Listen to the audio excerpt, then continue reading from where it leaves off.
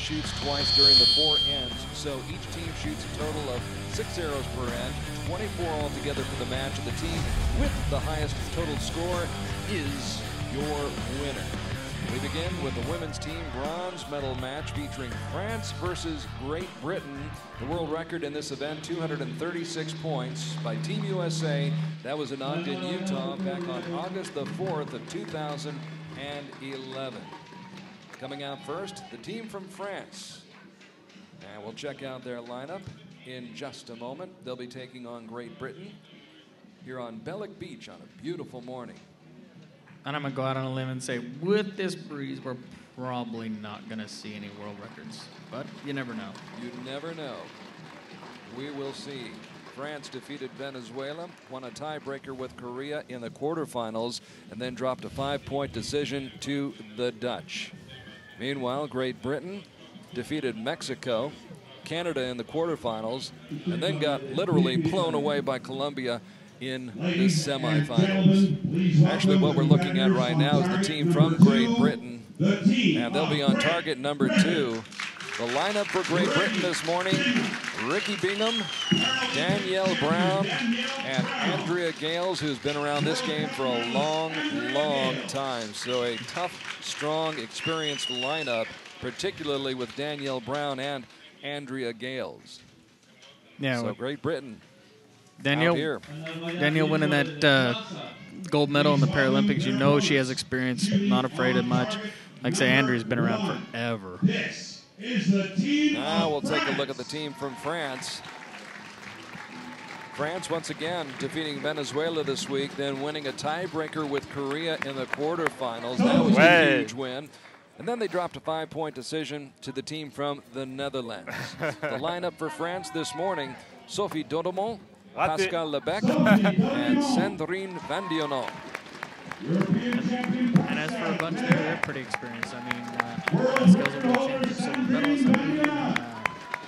Sandrine's been around and won World Cups around the world before, so I would say their experience is probably pretty even. So they'll come out this morning and they'll test the winds first and find out how much of an adjustment they'll have to make from the field that was used during the week for the elimination and qualifying. And this finals field here on Belek Beach. Target number one, the team from France. Target number two, the team from Great Britain. Now, this would be the first World Championship compound team medal in the history of British archery, should the team from Great Britain be able to come away with a victory. And this is a good look at Danielle Brown, one of the most compelling archers in this sport, the defending Paralympic champion and three-time world champion. She's also the first para archer to ever compete in a World Cup final, and she will lead off in this opening match. And we'll see what we see from the difference in the wind on the practice field to up here really quick because it seemed to be a little less breezy down here than it was up there. 10 at 9. So, so the opening volley is a 9 from Danielle Brown. Didn't seem to make much difference being just a hair left compared to what she was up there. Les bonnes flèches. Andrea Gales 10. 10 With a points. 10. Good So job, back-to-back Andrea. tens to start it off. Allez, Sophie, on se prépare. Bien souple devant et du prolongement. And this is Rikki Bingham, 30 years young. Tout And she tranquille. was on the women's team that took ninth place in Torino two years ago at the World Championships. She'll start off with a nine, but Great Allez, Britain Sophie. shows they mean business right off the uh, get-go. Yeah, coming from, like I said, from that practice field over here and start with 10, 10, 9. And Lorient. as much as we've had misses all week, it really looks really Allez, Sophie. good. So now France. Sophie Dodemont with an eight. A little more left. Like I said, the first, everybody started off a little left because, like I said, I think up on that field up there, it's a little more windy left to right. So coming over here with less wind, it's going to put the arrows out a little left. Sandrine Vandionant, who started out shooting compound, switched from compound to recurve, and then came back to compound. She shoots an eight as well. So a little bit slower start out of the gates for France. Yeah. They really need Pascale Lebecque to come up with a good score right here. Nickel. And she does. She does. 10 en bas. Well done for Pascale Lebecque. Gives you a good breath, though. I mean, it's like I said, Great Britain's got to be going, man, we walked over here. Your the nerves of not knowing where you're going to hit your first arrows and to walk off a three-point lead is a good feeling. Eight to 10. And Daniel gives him a little back. So now it's up to seconds. Andrea Gales to try to pick up and regain some of those points. A 10 right here would certainly do that after the 8 by her teammate Danielle Brown. And there's another 8. Just out. Crazy how archery can be a really balanced. You, you, you give some and you get some back. And it changes from one shot to the next. It does that. Take nothing for granted Yeah. in this sport. Well, oh, there's a 10. Beautiful shot. Shooting. By Rikki. Good Well done by Rikki Bingham. And seems to be changing down there a little bit too. I mean, we've gone from a, a left to right with the flags Soupe behind now going right to left. jusqu'au bout sur l'objectif. Sophie Dodemont See how she picks it up. won a team bronze medal in the 2008 Olympics, but that was when she was shooting recurve. Now en haut à she's shooting compound. That's another 8. Yeah, it's a different game for sure. little breeze in the stadium, and uh, you can see its effect on the arrow. From the left side. It's actually- Elle bien sur le bloc. Sandrine Vandionant. Ouais. Dead center. Yeah. Right down the middle. Way to pick up your teammate. I mean, you you know, you feel that Va. stress. You shot two eights, eh? and for you to back it up with a ten gives them a little less stress, but not a lot. Another bullseye right here, and they're only down by one after the first end. Yes, And there it c'est is. There it is, yeah. Back with a pair of bullseyes in Allez, this bon, opening end. Here in the women's team's bronze medal match at the World Championships in Belek, Antalya, Turkey. Carl Arkey along with. Reo Wilde on what is a Saturday morning here on the southern Turkish coast. Not sure if it's Friday night or Friday afternoon, wherever you are. Perhaps it is Saturday morning, wherever you happen to be, but we're glad to have you with us. Absolutely beautiful, beautiful conditions. Temperature is about 60 degrees or so Fahrenheit. Not sure what that converts to Celsius, but uh, I'm sure somebody out there can make that conversion. It's comfortable, though, and the breezes have died down just a little bit. Ah, bien. It's considerably less over here than it was at the field of. I mean, these guys are holding red. I mean, guys were excited to hold blue over on the other field, and so You were just kind of uh, letting it go and praying, weren't you? oh, there was times that I was hoping it would stick in the bale, so I wasn't in the back grass looking for it. There's the wind windsock, give you some idea of the winds here. And there's the score 55 54 in favor of Great Britain. And Great Britain off to a good start. Great Britain in installer à un that first mini-bar. end. Three of the six shots in the center ring. Meanwhile, France also had three bullseyes, but they also shot three eights. Allez, on respire bien, Sophie. The difference right now, a nine. That was recorded by Pascale Lebecque on the third shot of the first end. So we get set for end number two. They'll shoot four ends. Each archer, two shots per end. Total of 24 arrows per team. Allez, Sophie. And Sophie Dodemont, who is that rare compound archer who does have an Olympic medal. Ouais, c'est bien, encore, As we said, she did shoot recurve before converting to compound. Nickel, là, c'était engagé. And a nice shot for Great Britain, or for France, I should ouais, say, ouais, to start things off. Yeah, and this match usually, the team matches seem to go really fast because you only shoot a total of eight arrows. So as an individual, you're like, ooh, this is quick. And so each one of these means a little more. Peut-être 9. So on the line, it's going to probably be scored a 9. No asterisk. So here's Pascale Lebecque, who won a mixed team gold medal at the World Cup final in Paris two weeks ago today. Ouais, nickel, Stays Pascale. Right on target. 10 en bas. So you ask for your anchor at least to pick up the other two if they're having problems, and then she seems to be doing that really well. So France puts some pressure on Great Britain. The Brits with a one point lead after the first end, the first six arrows, and Danielle Brown right down the middle. Yeah. That is, I think, one of the most underestimated things on a team event. If your starting shooter can shoot really well, man, it takes a lot of pressure off them next two to go up and make good shots. Now Andrea Gales, who went head-to-head with Vandionant in the gold medal final in Las Vegas at this year's Indoor World Cup Finals. And she beat her 7 to 3, trying to defeat her again today here in team competition at the World Championships. Là, il n'y a pas de calcul. C'est Lagnac. et encore Rikki Bingham, vous. Seven to one. Allez, Sophie. high with that shot. Gives France a, a two-point lead at this point. I mean, it's going back and forth. There's, but this Allez, Sophie. C'est could solide. go hein. back and Allez, Sophie. and It could really spread out, I think. Sophie Dodemont, Ouais, 9 en. Dodemont in the Neuf nine En bas à gauche encore. Remets encore un petit clic à gauche. Yeah, I mean, bien this week out Les there on the field, I saw more C'est ça qu'il faut faire encore leads of 30 points than I've ever seen in my life. Allez, bien forte dans le mur. hein. We saw an amazing score of 88 to 79 to Yeah. decide a match. And an Ouais, important 9 en bas. match. Yeah, one of the guys back home had petits texted another guy and he said they had averaged a five point something Allez, average, which Daron, means secondes. if you kept it on the bell, you're going to win and end up in the gold medal match. See, it's an easy game, Real. yeah, easy.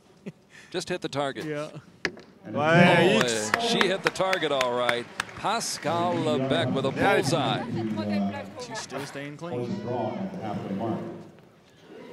So after the first two ends, France with a score of 110 points. And the Brits right now need three bullseyes, and they get the first one there to try to tie this up. mais on est Danielle. Brown shooting normal que ça strong. soit- Il y aura de l'émotion jusqu'au bout.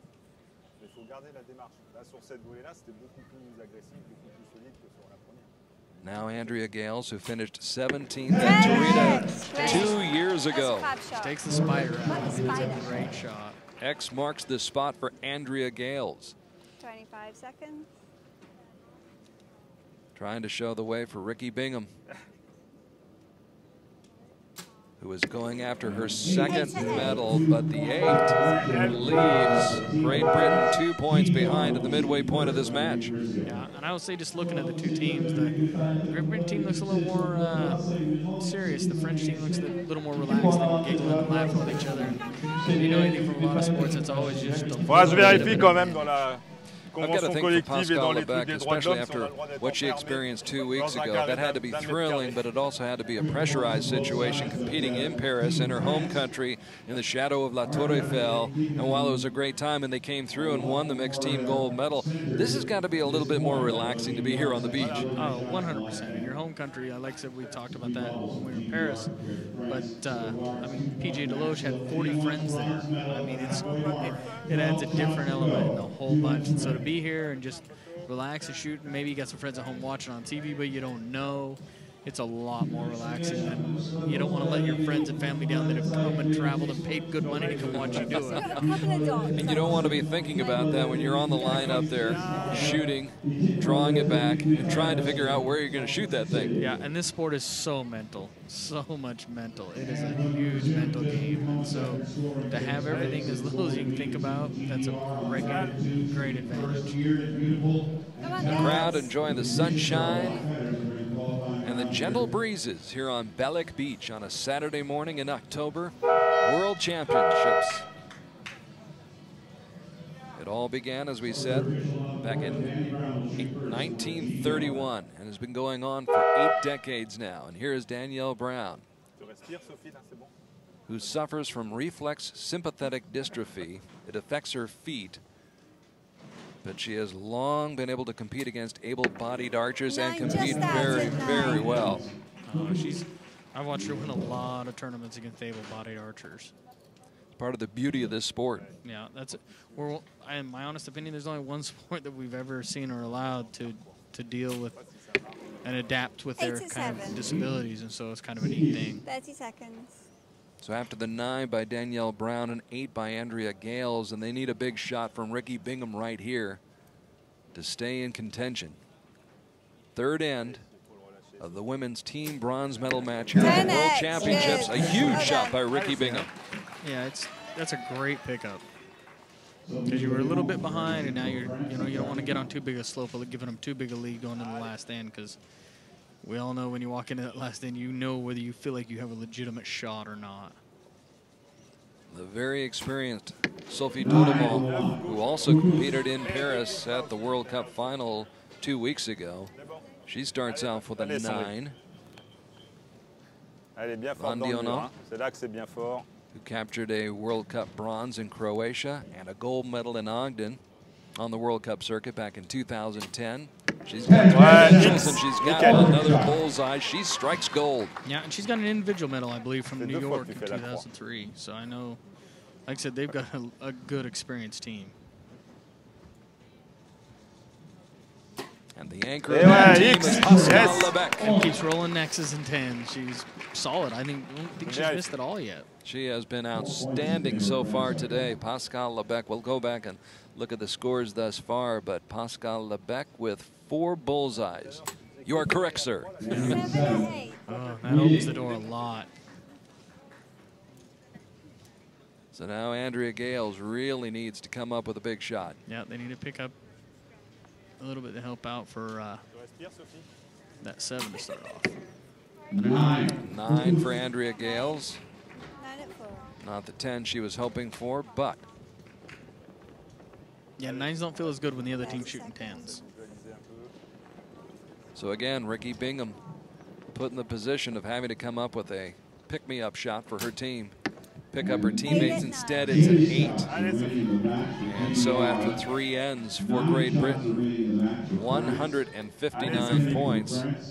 Bien solide. And France really with a chance to pull away here in the third end, which you've you've always called as the most critical one. Yeah, it is because it, it, like I said, it either opens your door or closes Ouais, it going Sophie. into that last end. Yes. You know, when you start off with a 10, when they hit a 7, pas. it just strikes that lead. Parfait, toutes les flèches. And to me, it's like I said, it's kind of a moving in. You know, like like moving day in golf, Golf, on a right. Yeah, you get that. Sandrine, bien forte It's kind of the critical end. You can either help yourself or really hurt yourself. Donovan shot, perhaps starting to close the door on Great Britain. Ouais, Mondion, though, keeps it open just a little bit with that eight. 20 secondes, c'est parfait. Yeah. but it's still going to be a lead for France, assuming, of course, Pascale Lebecque hits the target. Yeah, which this weekend has been a little bit of a challenge, but she hasn't even missed a 10 yet, so and she continues it. She is on a roll right now. Pascale Lebecque just cannot seem to miss, and she's pumped up. She's having fun, and you can see vous voulez encore des... the difference in the mental mindset right now. You talked about this being a mental game. They're having fun right now. Yeah, the two teams are totally, totally different. They barely seeing a smile on the Great Britain team, and and France is. I mean, it helps when you got a nine-point lead, but it seemed to be that from the get-go.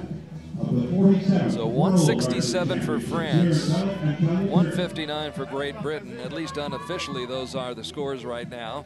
So after 18 arrows, France flying high right now here on l'impression- Beach as we get set for the final six arrows. And Là, ça right va. now the coach doesn't have to do a whole lot of coaching, does he? No, no, I just stand back there and support them and tell them what they. You know, I mean, I always believed in this sport. When you get to this level, that coach doesn't need to do much but stand there. I mean, it's a pretty simple job. It's a good gig. It is a good gig. Come to Belek Beach, enjoy the sunshine, the sea, good food, great golf here. Amazing Oh, yeah. golf courses all over this area. Yeah, a couple of the guys on the team yesterday went and hit 18 holes. They were talking about a beautifully manicured course it was, and I guess Tiger played on it a year ago. And so And from what I hear, Tiger's coming back later Yeah. this month. oh, El Tigre yeah. may be, may be here on Belek Beach. But right now, it's the best in the sport of archery on the beach. And Danielle Brown They're going to need a good start here to, to at least add a little pressure onto uh, the French, but it could be tough with that nine-point lead. And Danielle with a nine. Danielle qualified for the Commonwealth Games in New Delhi in 2010, becoming the first Paralympian to represent England in an able-bodied event at those games. Yeah, and like I said, I think the British team maybe a little more tight because, like you said, they'd never won a team medal, and knowing that in the back of your head always adds pressure. You know, I mean, Which is the last thing you want to do. yeah, I mean, we've been talking all week about how you know how long it's been since the U.S. recurve men had won a medal or anything in this, and so. You, you know it as much as you don't want to. You know it. You know when history's coming or what you're doing. Ten X. Sensational shot right there. And so I'm sure that's been on the back of their minds and, and the pressure's added. be honest with you, Rikki Bingham has shot as well as anybody on this team from Great Britain this morning. Yeah. For a kind of a new one on the scene and not, Mhm. you know, she's done a lot and had a a kid a year or two ago, and I know she was telling me how hard it is to be away from him, and so I understand that all too well. Ouais, 10. Faire ce fou. Gain Another another, 10 points. gain another point because they start off with a nine. So And the confidence just builds for France right now. yeah, you, I mean, you're looking at Pascale's arrow may not even matter. You know, you you could end up with a tie at worst if Sandrine's Ouais, c'est bon, 8. C'est An eight, but you're really not. almost at sometimes your thoughts are, I just want to get it in the bail. You know, Well- let's make sure it's down there and scored, and we have the chance to win. When it's just three or better to win it, I think uh, I'm putting my money on Pascale Right. Lebecque. Finishes it. She's still clean. She was perfect throughout the entire peux match, sortir, moi, je suis renfermé dedans. at least thus far. savez, les cellules de dégrisement, je And France goes back ahead by eight. 195, 187, final three arrows. Danielle Brown 50 seconds. got her law degree, owns her own business, does a lot of motivational speaking, talks about disability awareness and training. Her final shot in the center ring. And you can see her elbow shaking a little bit there. And Ten. Danielle's Good trying to keep it together, and she does. Another 10. 30 seconds. Makes an excellent shot, even even as nervous as you are. I've seen my arm shake and just execution and it still go good. So So Rikki Bingham with the final shot for Great Britain. Here on this glorious morning on the beach, and it's 10 10 10. In fact, four tens to finish off in the final end. yeah, we'll put a little pressure on, but I think with the nine point lead you walked in with, you're really not sweating it too much. So Dodemont, Ouais, c'est bon, c'est bon. a little low. On part. C'est ce qu'il fallait faire, c'est bon. Would like to have that one back, I'm Allez, sure. Sandrine, Bien dans le mur, So Vandionant solide dans le mur. lines it up, draws it back, releases, and that's a six. Allez, So the plot Allez, Pascal, doth c'est bon. thicken. Take Now- nothing for granted. Not, just like we said, you never know. You got to give yourself that shot, and that definitely gives you about an eight point. She needs that. And she Pascale Lebecque. finishes clean. She shot awesome today. She puts it away. Pascale Lebecque. And time for a group hug. Yeah. Sensational shooting by Pascale, who has just been outstanding this year. Pascale Lebecque, eighth in the world. And as we said earlier, won a mixed team gold medal at the World Cup final in Paris two weeks ago, on this very day two weeks ago. Great effort by Great Britain, though, especially in that final end. They, they kept battling to the very end. Yeah, to roll out four tens at the end just to put the pressure on to give them the shot, and then Sandrine to open the door a little bit. I mean, you, you got to think, wow, maybe I got a chance here because you never, you never know. I laughed at uh, our eliminations the first day. Braden walked off the line and he was down. All the guy had to do was hit the target to win, and the guy missed for Braden to advance in the first round. And he's like, man, I feel so lucky. Like you do. So Yeah. you never know what's going to happen. Sometimes the gods smile on you, and sometimes they don't. Yeah. But Great I'd- Britain falls by two as the French win at 219 to 217 to take the women's team bronze medal here at the 2013 World Championship of Archery here on Belek Beach in Antalya, Turkey. Just outside Antalya. I should say we're about 20 miles up the beach from where we normally shoot, the second stage of the World Cup circuit on Konyaaltı Beach. Yeah, and it's a it's a little different winds here. Uh, like I said, most part we've looked this morning have gone out towards the sea, where on the other side usually we're getting it coming in, and.